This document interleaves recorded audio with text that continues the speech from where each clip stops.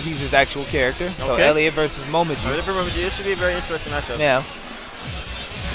I don't know who wins this matchup. Who do you think has the advantage in this matchup? Um, Eliot versus Momiji. To be honest, I, I have no idea because I would say Mom- Momiji at She range. does have the range, exactly. Yeah, but bring up- she what does have the Eliot just did there, yeah, he he also can close has in. Exactly. he close.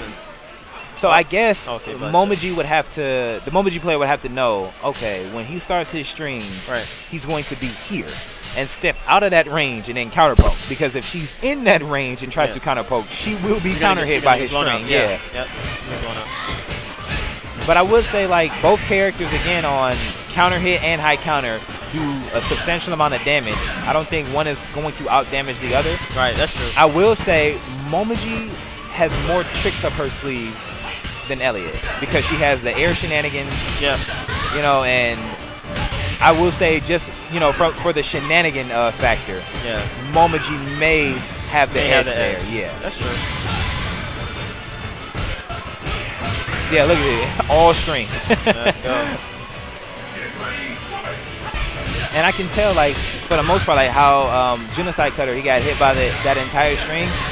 Most players, um, it's it's funny that when I see it, because coming from school, it's like, okay, I know these strings, but I've seen like a lot of new school players don't practice against him. No. So they end they, up- They go in. Yeah. Yeah, so do- they end up getting yeah, they hit get- by moves where it's just like, wait, that yeah, works? Yeah, exactly. yeah, No so doubt, yeah. yeah, a lot of those punches that Eliot are ditching out, like he's really tricky. They look like they're high, They- yeah, they're exactly. mids. A lot of high. Yeah, has a lot of high mid uh strings. Definitely. Yeah, like he has some highs in there, like yeah, like in there, like it just went like mid, high, mid, high. Yeah, exactly. Yep. All right, here we go.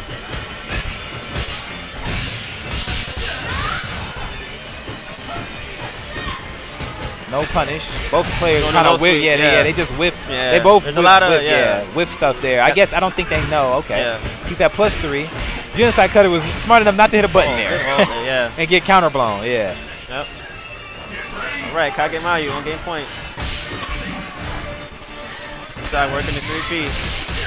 Yeah, see, I think you see uh, the Eliot player uh, Kagemaru just got counter hit there Yeah. by Momiji. So I, you know, Genocide Cutter was outside of the range Outside of the range. Yep. of him starting a string and whip punish. Proper spacing. All right. Genocide playing is pretty good. I like the spacing. Yeah, see, Ooh, there- there we yeah, go, the shenanigans. shenanigans, There you go, exactly, yeah. Catch you sweeping. Oh, wow, the Chrissy kick. Yeah. Okay. All right, here we go. Oh yeah, yeah. Now before they they ended up patching that.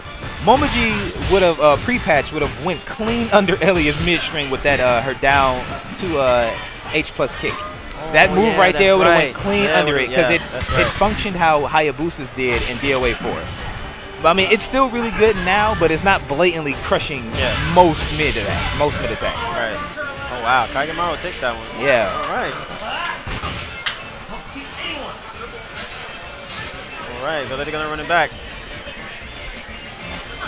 They're gonna they're gonna run it. I think uh, character change. No character change. I think there. I think there's gonna be yeah. There's a character change. Yeah, because I mean he said something to him. Yeah, he wanted to change the character. You got a character change here, or? or Oh my god. Oh my God. I have. This is my personal theory.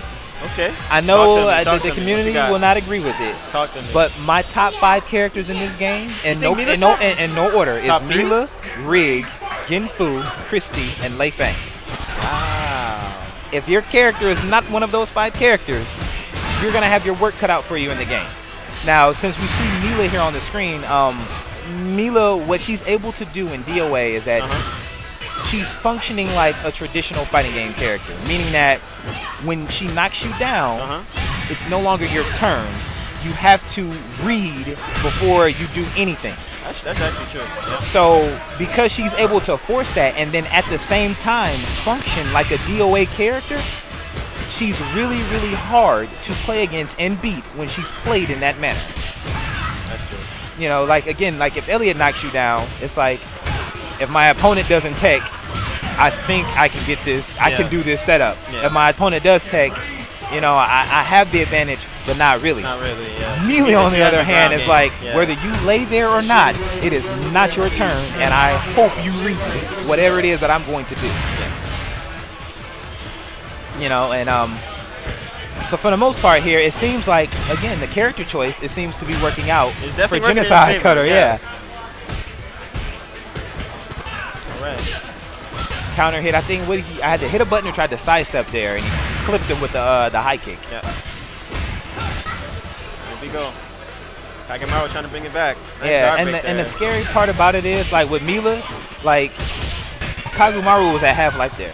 Yeah. If Mila got anything off and critical burst him, the match would have been over. Yeah. Yeah. Her combos do big damage. Yeah, really big damage. And we got a taunt there from Kagemaru. You know, I don't know if that was an accident or on purpose. I hope it it, was on purpose. yeah, I I, like so. it when it's on purpose. Yeah. oh wow, he ducked the high kick. Love the disrespect. Right, here we go. Look at Uh, this that string, you're yeah. talking about. Yep. The, the mid-low mix-ups. All right. Here we go. Trying to pull each other out.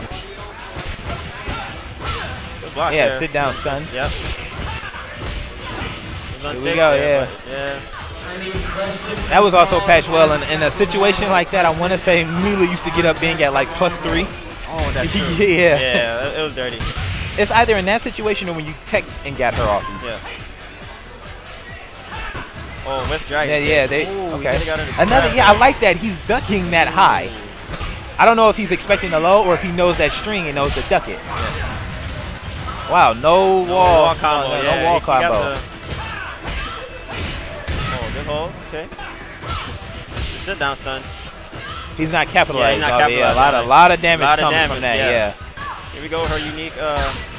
Oh, I, look at the okay, I just watched his hands. I don't know if I mentioned this at Summer Jam. Okay. You can plink on an arcade stick her um her attacks in that to get to always get the just frame timing.